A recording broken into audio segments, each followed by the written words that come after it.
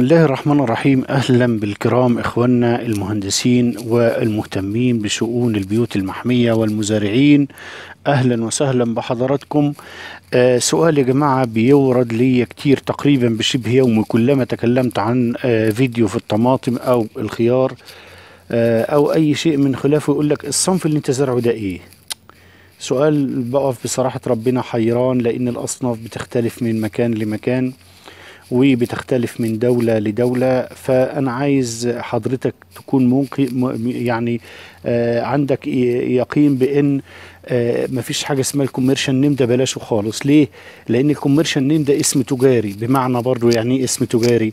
يعني الشركات الكبيرة زي آه، ريكزوان وزي سينجينتا وزي وزي باير والشركات الكبيرة دي العملاقة دي طبعا بيبقى لها عندها أصناف كتير فبتنزل الصنف برقم بتنزل الصنف على الشركات الصغيرة في أي دولة برقم.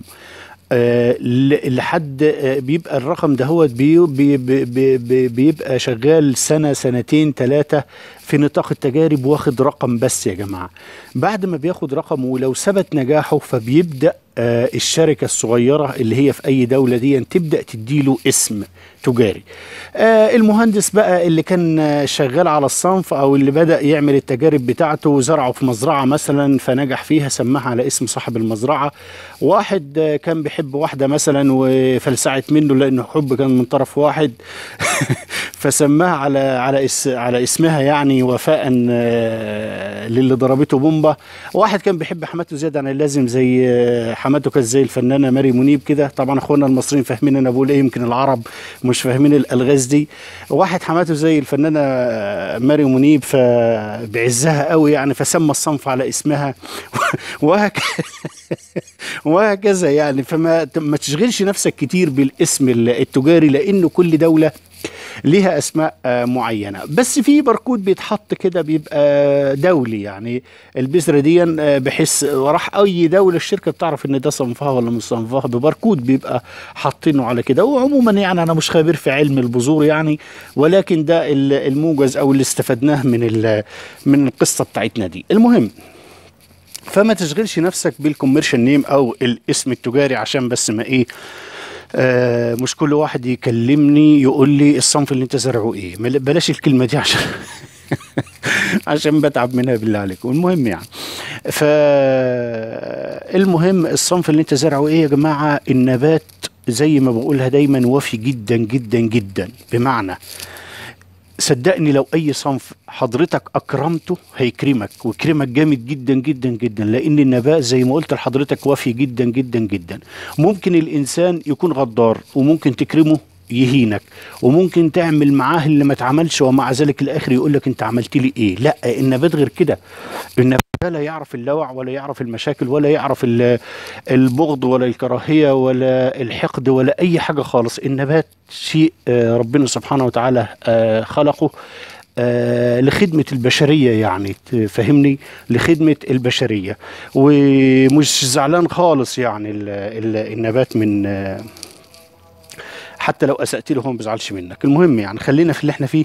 أفضل صنف آه، خيار إيه؟ أفضل صنف طماطم إيه؟ زي ما قلت لك مفيش حاجة اسمها صنف كويس وصنف وحش. المهم النبات آه كله وفي للإنسان. بمعنى لو أنا حتى عندي صنف آه في صنف بيتميز عن التاني بشوية. ولكن الميزة دي يا جماعة لا تتعدى ال 10 15 المية. بمعنى إن لو متر الخيار مثلا معايا مثلا يعني بيجيب آه 20 آه مت 20 كيلو للمتر مربع تمام؟ ده صنف. الصنف اللي, اللي, اللي, هو ممكن يكون أقل منه لو أكرمته هيجيب صدقني ال- الكلام ده كلته وممكن يتفوق عليه. المهم إنك تكون أصلا تكرم الصنف بتاعك. بمعنى أول حاجة في الصنف بتاعي يا جماعة أول حاجة بالصنف بتاعي الأول أحدد التربة بتاعتي. التربة بتاعتي فيها ملوحة في أصناف إلى حد ما إلى حد ما تتحمل الملوحة. تمام؟ إلى حد ما. يعني في بعض أصناف الطماطم ممكن تتحمل الملوحة. ممكن آه لو عندي آه ملوحة زايدة بجيب صنف آه ال- الأصل أصل خيار مثلا وببدأ آه آه أطعم عليه وأصل الأصل بتاعي بيبقى مقاوم للملوحه تمام؟ آه لو عندي مثلا ال- ال- التربة طينية مثلا وممكن يجي لها عفن جذور مثلا في الخيار فممكن أجيب أصل واطعم عليه ال ال الأصل أجيب أجيب صنف خيار واطعم على أصل يتحمل الأعفان بتاعة الجذور. لو التربة عندي مثلا فيها نيماتوده ممكن أجيب آه أصل برضه متحمل للنيماتوده وببدأ أزرع عليه ببدأ أزرع عليه الصنف بتاعه أو عليه الصنف بتاعي اللي أنا جايبه. تمام؟ طيب آه، لو أنا عملت دي دي حاجات في إيديا. دي حاجات في إيديا والمفروض براعيها في الصنف بتاعي. كمان براعي بالصنف بتاعي ال- ال- الموسم بتاعه. هل هو أنا عايز الصنف ده هو بغرض short season موسم قصير يعني أربع شهور وأقلب ولا عايزه long season يعني موسم طويل؟ هزرعه مثلا من بداية 11 أستنى أقلعه مثلا في آه، شهر أربعة. ده إيه اللي, اللي فيه اصناف كده وفي اصناف كده تمام؟ آه غير كده كمان آه في اصناف آه بتبقى آه يعني آه مالتي يعني متعدد وفي صنف بيبقى سنجل برضه بحدده تمام؟ ولكن على كل على كل آه، إذا كنت عايز صنف كويس لابد إنك تكرم الصنف دهوت. بعد ما حددت كل الحاجات ديت أرضك فيها نيماتودة أرضك فيها ملوحة آه، الأرض بتاعتك المية اللي بتروي بيها مالحة الجو عندك شكله إيه؟ برضه ما هي دي بتتحكم لي في ال- الصنف. الجو عندك شكله إيه؟ بمعنى برضه يعني أنت عايز تزرع صيفي ولا شتوي ولا خريفي ولا ربيعي؟ لازم تحدد ال- القصة دي.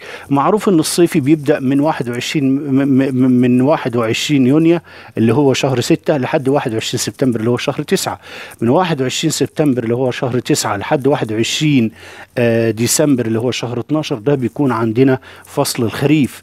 آه، في من 21 12 لحد 21 آه، ده بنسميه آه، الشتاء. ومن 21 3 ل 21 آه، يونيو ده بنسميه ال- الربيع عندنا. تمام؟ فأنت بتحدد ال ال الصنف بتاعك ده هو ممكن يكون إيه. كمان لو أنت عايز تزرع في الشتاء بتحدد الصنف بتاعك ده هو آه، ممكن أجيب صنف ملطي صيفي. تمام؟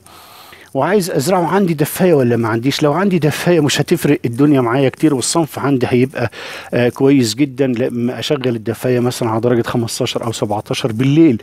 اذا آه فالاستهلاك بتاع السولار عندي هيضاهي الإنتاج لأن أنا عندي موسم عندي صنف ملطي بينتج كتير وزيه زي في الصيف قوي ممكن يقل حاجة بسيطة ولكنه صنف كويس وشغال معايا كويس على أساس في تدفئة بالليل.